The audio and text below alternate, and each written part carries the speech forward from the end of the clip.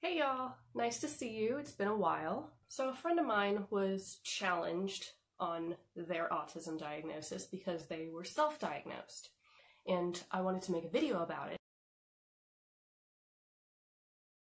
So, by the most basic definition, self diagnosis is the process of diagnosing or identifying medical conditions in oneself. It may be asserted by medical directories, books, resources on the internet, past personal experiences, or recognizing symptoms or medical signs of a condition that a family member previously had. The Asperger Autism Network says many adults with an Asperger autistic profile stumble upon the description of Asperger syndrome or autism spectrum. Some may believe that the information matches their history in their current situations and, as a result, may self diagnose. So basically, with self diagnosis in autism, we are usually older. We weren't diagnosed in childhood, and so symptoms went ignored or unrecognized. And when we're older we have access to more materials um, and information, we realize that all of this stuff that we thought was wrong with us is characteristics of being on the autism spectrum.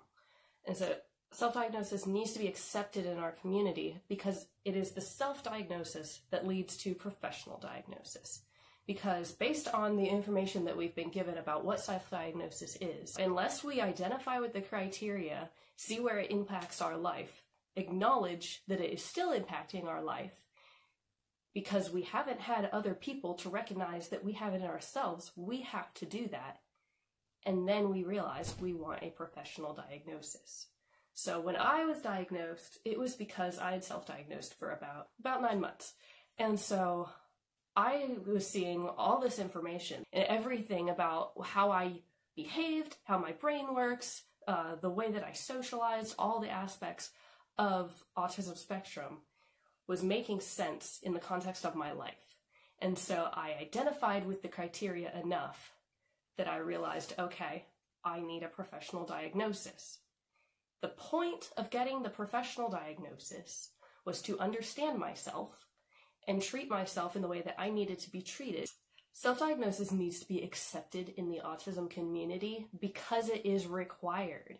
You have to identify with the criteria and be aware of how it impacts your life to the point where you want to get a professional diagnosis. If anything, everyone should read the autism diagnostic criteria and see if it applies to their life or not. And when they do identify with it and see the points in their life where it has affected them, then they should pursue the professional diagnosis if they want to, because then all your answers are there. So not only is it required, but it needs to be respected because these people have not been given a diagnosis when they were children. Not everyone gets that. There's a lot of ways that you can uh, avoid getting diagnosed because of your race, of your gender, of your economic status, if you have enough money to pursue a professional diagnosis. I'm not gonna kick them out of my circle if I don't think they're autistic. I'm not gonna be like, you can't come in the autistic community. I don't think you're really autistic. Autism shouldn't be seen as something you don't want to have. People should be accepting and open towards learning what the criteria is and the characteristics that make up an autistic person and being open to identifying with that.